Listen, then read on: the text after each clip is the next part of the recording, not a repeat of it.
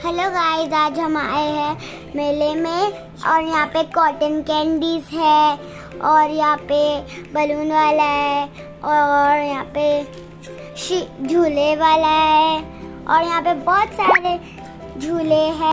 मैंने, मोहम्मद गौस ने और हुरैन ने हॉर्स राइडिंग की उस पर बहुत मज़ा आया।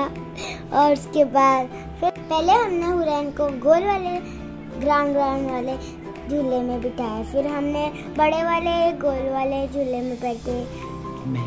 मैं। मोहम्मद गौस और हुरैन इसके बाद हम लोग गए थे दरगाह पे।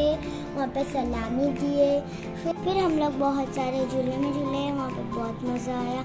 यहाँ पे चूड़ा वाला भी था और यहाँ पे बहुत सारे झूले थे। अगर आप मेले में जाते हो तो कौन कौन से झूले में झूलते हो? कमेंट में ज़रूर बताना।